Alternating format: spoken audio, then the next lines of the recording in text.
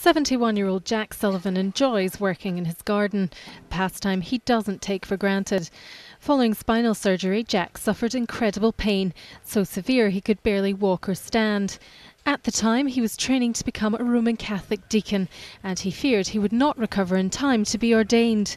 After five days of excruciating pain, he prayed to 19th century Cardinal John Henry Newman. It doesn't have to be complicated to bring heaven down to earth. Please, please, Cardinal Newman, help me to walk so that I can return to classes and be ordained.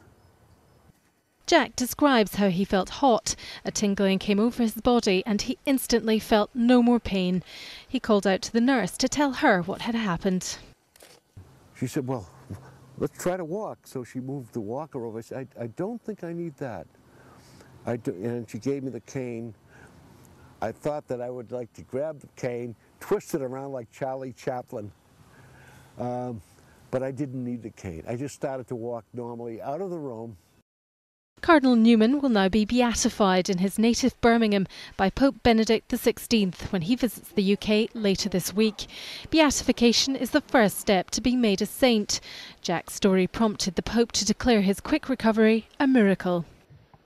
It will be a particular joy for me to beatify the Venerable John Henry Newman in Birmingham on Sunday, 19 September. Some medics have been sceptical of the miracle healing, but Jack is in no doubt of the Cardinal's intervention. He holds a lock of Newman's hair as a keepsake. He's always with me. I don't think he's ever left me since uh, that last time uh, uh, when I got out of the hospital bed. Um, he's been an inspiration for me. Jack hopes to attend the beatification ceremony. It's the least he can do. After all, the Cardinal apparently answered his prayers.